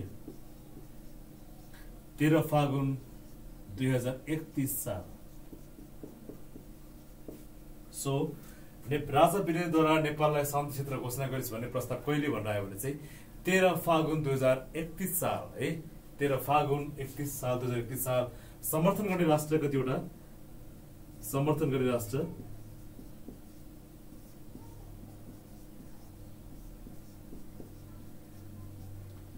एक सय सोह्रवटा। तर इन्डियाले अहिलेसम्म समर्थन गरेका छैन है। इन्डियाले समर्थन गरेका छैन। इन्डियाले समर्थन गरेको छैन है। इन्डियाले चाहिँ समर्थन गरेको छैन यस दुई हजार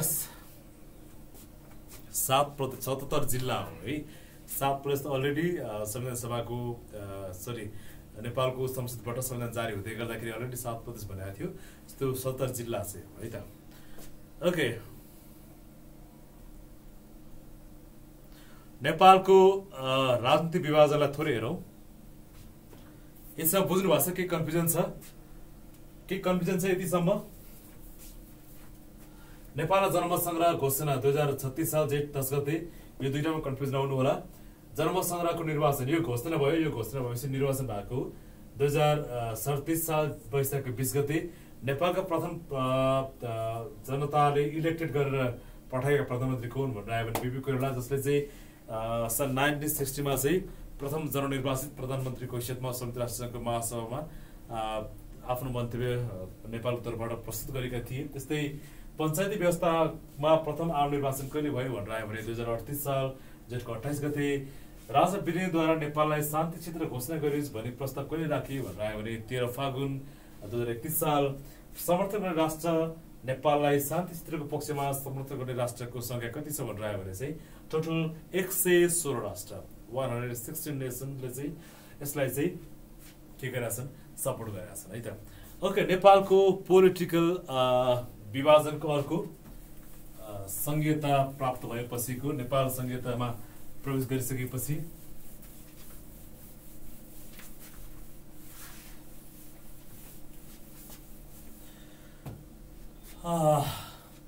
संघीयता प्रवेश गरेपछि सात प्रदेशमा विभाजन भयो नेपाल सात प्रदेशमा अब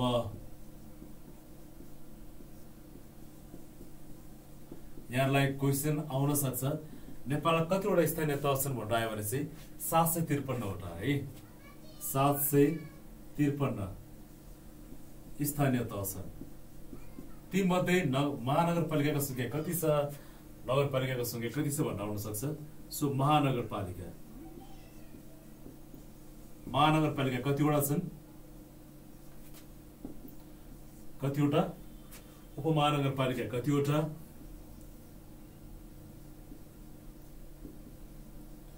उपमहानगर। पालिका। कतिवटा लेख्दै जानुहोस् है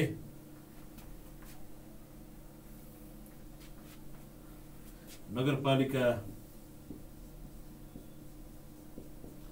नगरपालिका। कतिवटा र गाउँपालिका।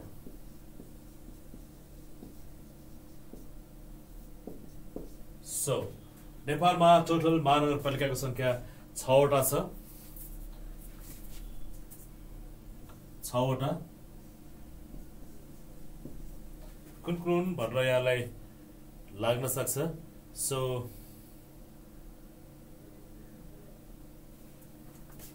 काठमाडौँ।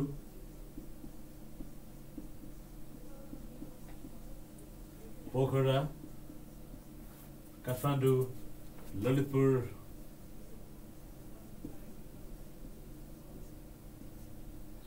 भरतपुर पुरै पुर्छन् पोखरा वीरगंज र विराटनगर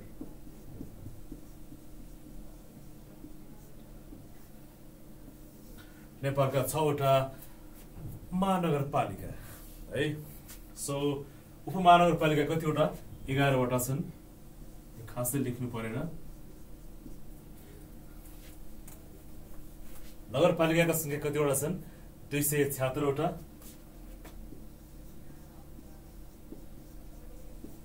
र गाउँपालिकाको सङ्ख्या कतिवटा रहेका छन्?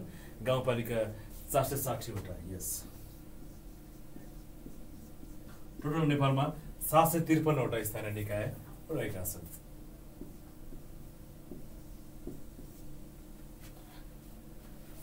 ओके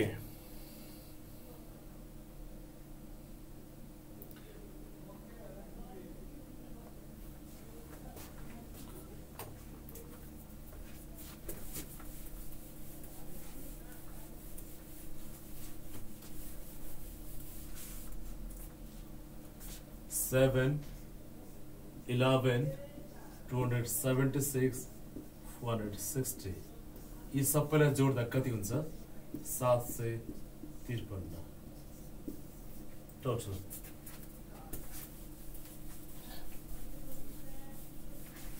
प्रदेश र सम्बन्धित प्रदेशमा रहने जिल्लाहरू।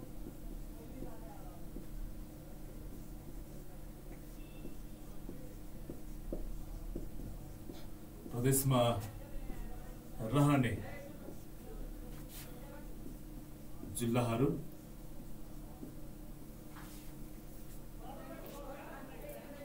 यस छ एघार दुई सय त्रिहत्तर सरी साथी त्यहाँ तपाईँले दुई सय दुई सय छ्यात्तर है दुई सय त्रिहत्तर होइन। दुई सय छ्यात्तर।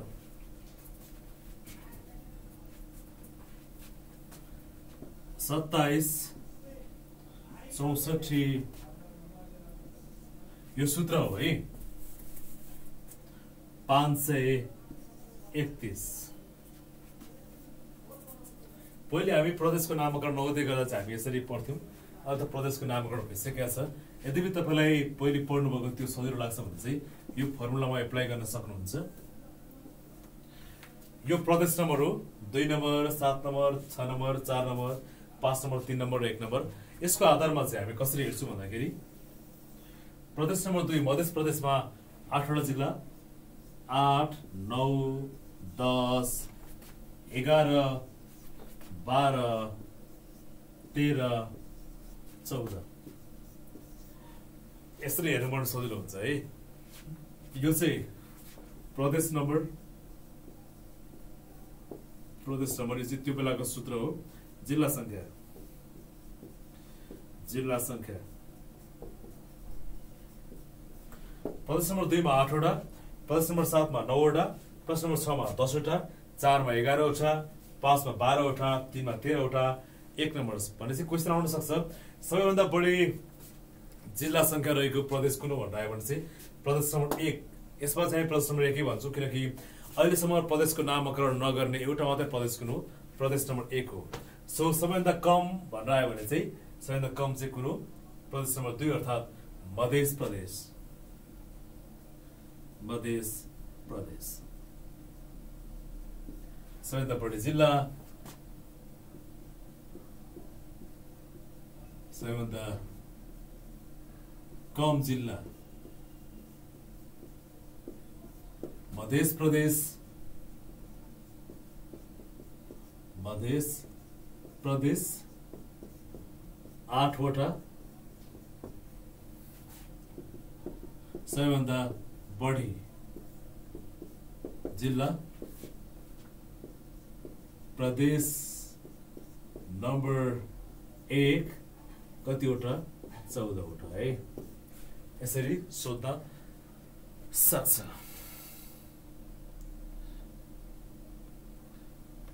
प्रदेशको राजधानी र कहिले तोकिएको त्यसको मिति यो पनि एकचोटि हेरौँ। सही बोल्न छोड्नुभयो कन्फ्युज हुनु भएको बुझेर बोल्नु भएको या नबुझी बोल्नु भएको? यसरी बुझेर नबोल्नु भएको या नबुझी नबोल्नु भएको?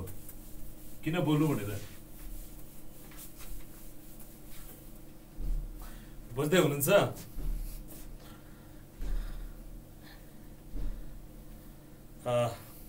यस बिसवटा सरलाई यस यस यस बुझ्दै हुनुहुन्छ? केही कन्फ्युजन छ यहाँलाई बोरिङ लागेको छ त्यस्तो केही? प्रदेशको राजधानी। राजधानी। अनि राजधानी तोकिएको मिति। राजधानी तोकिएको मिति। Yes sir yes sir. No confusion clear हुनु छ नि होइन? ठिक छ। यसमा मैले धेरै बोल्नु नि लेख्ने कुराहरू छन् सो मैले अलिक कम बोलेर यहाँलाई पनि लेखाइदिइरहेको छु है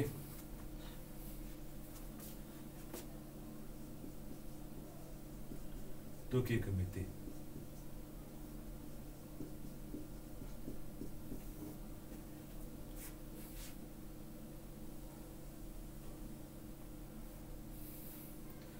प्रदेशको राजधानी? प्रदेशको नामकरण मिति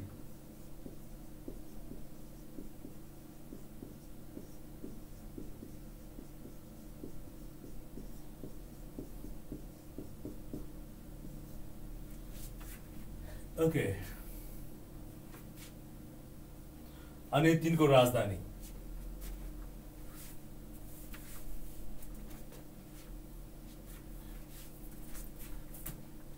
प्रदेश को नाम। प्रदेशको राजधानी। तोकिएको मिति।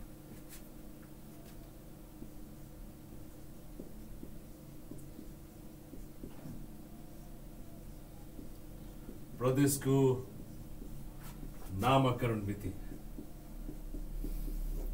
एकदम धेरै सोध्न सक्छ है समसामयिकमा पनि यो कुरा सोध्न सक्छ सो प्रदेशको नाम नम्बर एकमा प्रदेश नम्बर एक किनकि यसको नामकरण गरेका छैन प्रदेश नम्बर एक प्रदेशको राजधानी विराटनगर यो चाहिँ प्रदेश नम्बर एकको राजधानी हो नामकरण अहिलेसम्म गरिएको छैन होइन?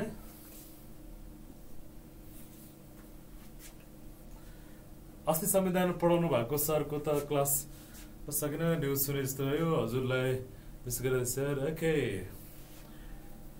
त्यस्तो नहोला सायदै।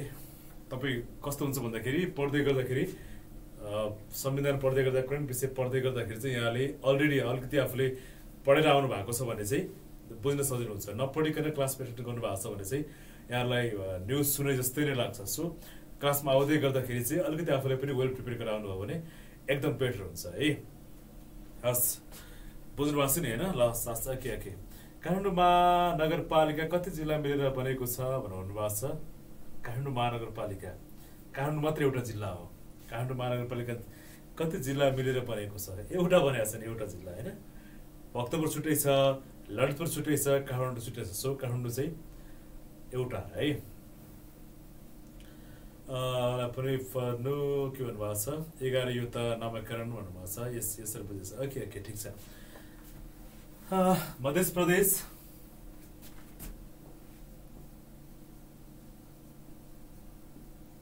मध्य प्रदेश दुई नम्बर। यसको राजधानी कहाँ हो? जनकपुर धाम जनकपुर धाम प्रदेशको नामकरण मिति दुई हजार अठहत्तर साल माघ महिनाको तिन गते प्रदेश नम्बर एकलाई आएको क्वेसन हो है प्रदेश नम्बर एकको नासुमा सोधिएको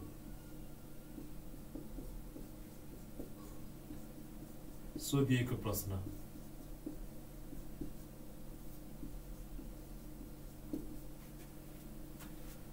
Okay.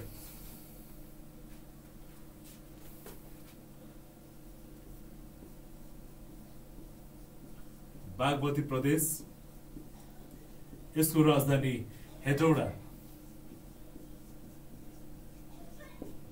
राजधानी कहाँ थियो? हेटौडा। दुई हजार छ्यात्तर पौष महिनाको सत्ताइस गते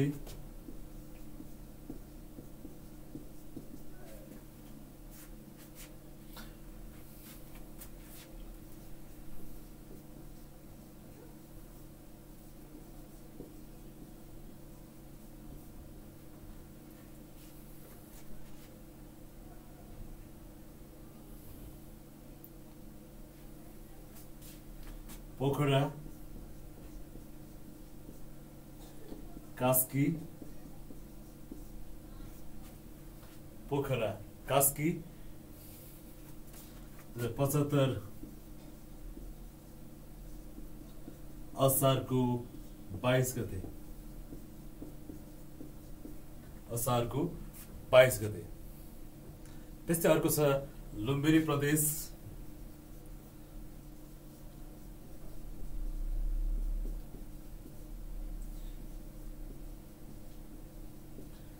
लुम्बिनी प्रदेश दाङको देउखुरी देउखुरी दाङ कोही हुनुहुन्छ दाङतिरको देउखुरी दाङको त्यस्तै दुई हजार सतहत्तर असोज बेस दुई हजार सतहत्तर असोजको कति कति बिस गते है?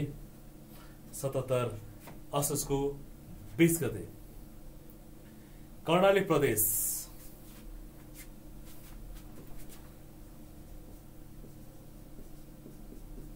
कर्णाली प्रदेश।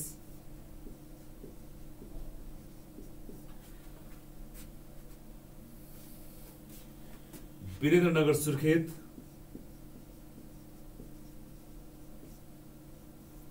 सुर्खेत।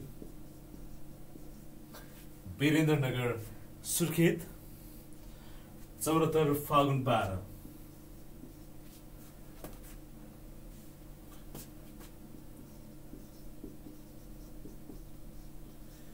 एकैछिन है यो चौरात्तर फागुन मलाई पचहत्तर जस्तो लागिरहेछ है एकैछिन है आई थिङ्क एक्चुली हेर्नुहोस् त भेरिफाई गर्नुहोस् त कर्णाली प्रदेशको दुई हजार पचहत्तर फागुन बाह्र है पचहत्तर फागुन बाह्र अनि लास्ट वा सुदूरपश्चिम प्रदेश सातमा सुदूरपश्चिम प्रदेश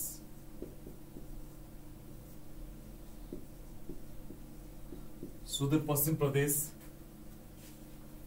चौरात्तर या पचहत्तर मलाई यसमा अलिक क्लियर भएन म चौरात्तर हो आई थिङ्क चौरात्तर म एक्चुली हेरिहाल्छु यसलाई है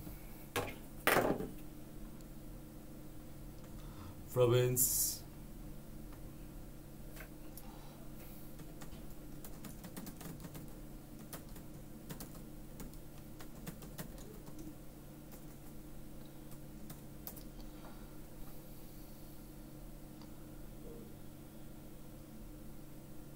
ओके चौरात्तर द चौरातर फागुन बाह्र है चौरातर फागुन बाह्र सुदूरपश्चिम प्रदेश राजधानी गोदावरी कैलाली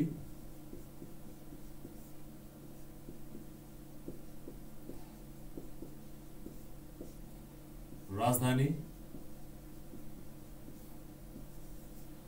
अनि दुई हजार पचहत्तर असोजको बाह्र गते। हा।